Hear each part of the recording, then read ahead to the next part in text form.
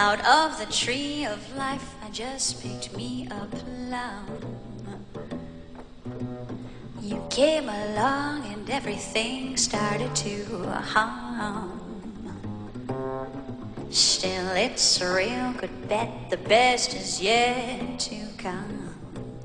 The best is yet to come, and babe, won't it be fine? You think you've seen the sun, but you ain't seen it shine.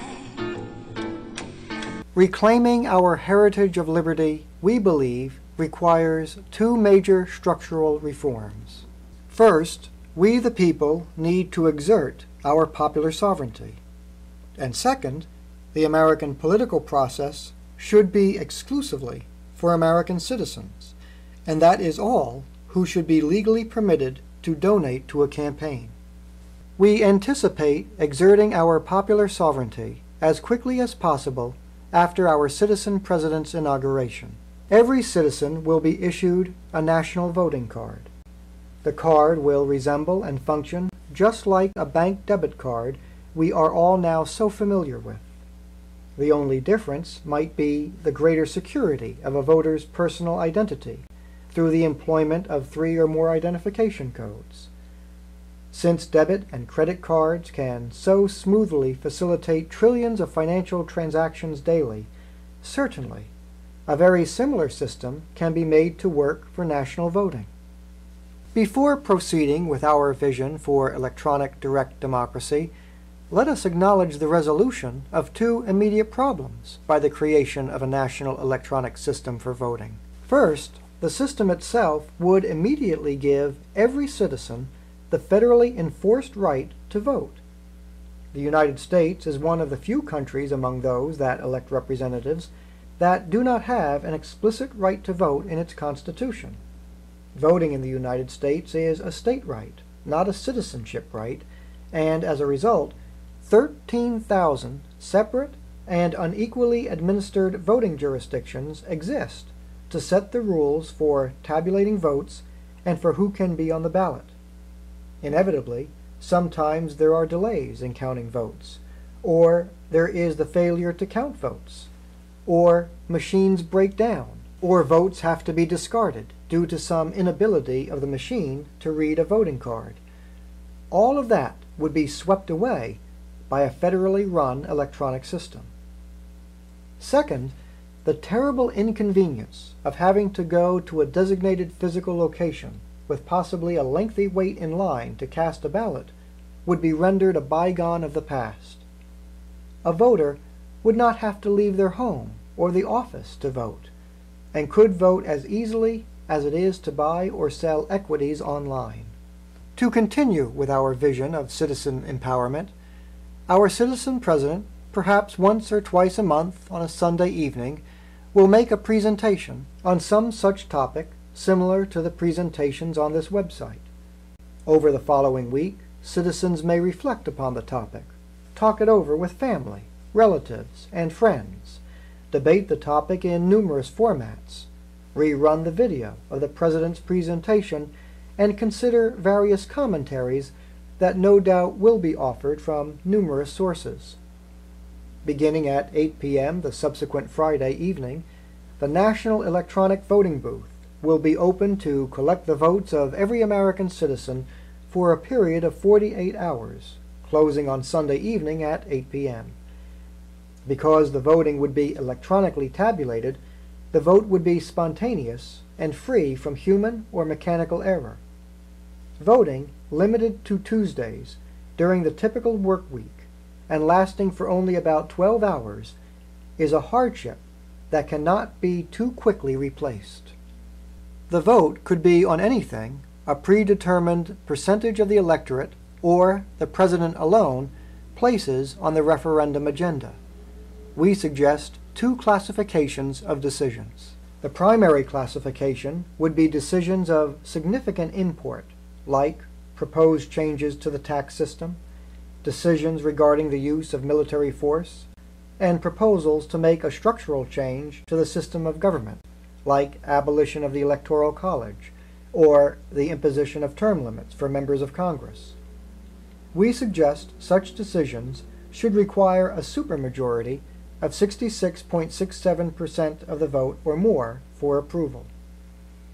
The secondary classification would be decisions on anything else, like a vote on whether or not to end subsidies for industrial agriculture, a vote on whether or not to impose a national addendum to all corporate charters, decisions on all the vexatious social issues.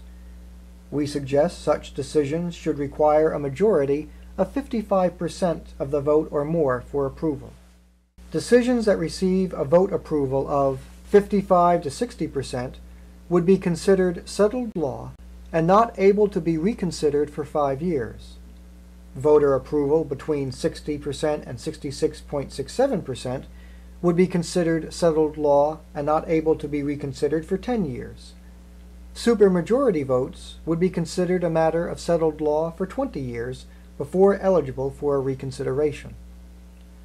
We suggest the imposition of a lapse of time before a vote can be submitted for reconsideration and a 55% voter approval because we believe it would be counterproductive for the common good to have a controversial subject like one of the social issues constantly reappearing on the national referendum agenda as each side tries to pull just enough votes on the next vote to turn the law. A simple majority that splits the country is too close for comfort because we cannot have decisions potentially flipping back and forth every other year. Of course, a supermajority can always elect to overrule the required time lapse. Additionally, a supermajority at any time can vote to reconsider anything. So if, for example, a policy that had received a 62% approval and therefore was not eligible for reconsideration for 10 years, a supermajority could at any time overrule the 10-year requirement in the event the policy had unforeseen consequences the electorate did not want to endure. Upon passage, the popular decision would immediately become the supreme law of the land, for which Congress, the Supreme Court, nor any state or local government would have the authority to alter or impede or jurisdiction to overrule. The President would be empowered to enforce the decision by the appropriate exercise of executive power. It is obvious that our nation's 300 million citizens cannot be brought together to replace the vast Washington bureaucracy to formally implement rules and regulations, impose fines and penalties, conduct inspections, investigate complaints, hold hearings to determine compliance or noncompliance. Nor can we all come together to replace Congress by drafting and voting on every bill. But modern technology allows us to come together to determine our nation's directions and policies. The second reform in citizen empowerment is that the only participation in the American political process should be American citizens and that is all, who should be permitted to donate to a campaign up to a certain amount of perhaps $500 per candidate in each election cycle, accompanied by full public disclosure. No corporations, no unions, no wealthy donors, no public or private organizations, no lobbyists, no political action committees, no special interests, and of course no foreigners. Only individual American citizens should be participants in the American political system. While most Americans champion the rule of law and defend the principle of one citizen, one vote, most Americans are also disturbed when a multimillionaire, unable to attract any significant grassroots support, bullies his or her way into the political arena and commands serious attention only because a personal fortune, not a profundity of ideas, opens the door. The idea that the First Amendment, intended to protect a right of the very rich and artificial entities of law like corporations to dominate the political system with money, is to turn the principles of the American Revolution on its head. America's founders understood that public spirit was a fragile thing susceptible to erosion by the corrupting forces of luxury, wealth, and power, and if left to concentrate in few hands, would dominate government, secure special privileges, and deprive the people of their right to rule. As Jeff Milchen, co-founder of the American Independent Business Alliance notes, allowing wealth to readily translate to political power at dollar amounts beyond the reach of all but the wealthiest precludes a government that serves the broader public interest.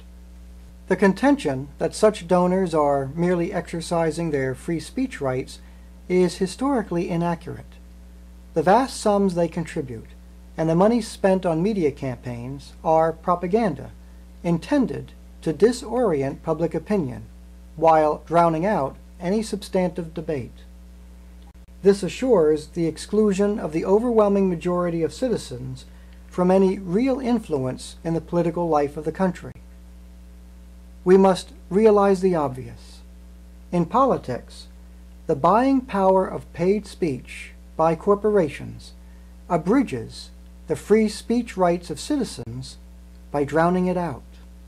As explained by historian Forrest McDonald, the origin of free speech has nothing to do with campaign finance. Under the common law, both freedom of speech and liberty of the press had specific and restricted meanings. Freedom of speech, for the most part, referred not to a civil right, but to a parliamentary privilege. Beginning during the reign of Queen Elizabeth, the House of Commons had claimed for its members the right to speak without fear of retaliation from the Crown, and that right was confirmed in the English Bill of Rights. The same right was claimed by the American colonial legislatures throughout the 18th century. But neither Parliament nor the colonial assemblies extended the privilege to non-members. Criticism of the legislative bodies or of royal officials, along with dissenting religious opinions, was rigorously suppressed. Further, as author Ted Nace has written, the meaning of the word person, as it had been applied to corporations both in England and the United States, had always meant the functional ability to make contracts and to own property, and to use the courts to enforce contracts and property claims. The notion that by some perversion of the meaning of words, the spirit of the American Revolution can be twisted to confer an unlimited right to contribute to political campaigns is absurd. To oppose the public's sovereign authority through direct democracy is to effectively place oneself in sedition against the underlying principle of the American Revolution and the legitimacy of the United States government. It is an absurdity to hold as sacrosanct various institutions of government, while at the same time denigrating the source of those institutions' authority. But even if the public's choice could be labeled as wrong, under the principles of our system of government, it is the public's choice to make, right or wrong. It matters not whether any elitist thinks the public's choices will be wrong. The public, under the American theory of government, is sovereign and that should settle the question. They sold us the big lie that we have a representative form of government, in that we vote for a political party, and the people that we vote for then represent our interests. Only six-year-olds believe that kind of stuff. The only people the politicians represent are the people that give them the most amount of money and have the most amount of power. So what we're saying is put the power in the hands of the people. Repre- the representative democracy was something that came about as the as the monarchies and dictatorships kept falling in the 18th and 19th century, and even the early 20th century. So what they did was they threw crumbs to the people by saying that you can vote for parties and you'll have a voice. You're still voting for the, the same interest, the same power interest by voting for representatives. What respectable adult would believe that any of these politicians have a brain bigger than they do? So put the power in our hands. This could be the global game changer.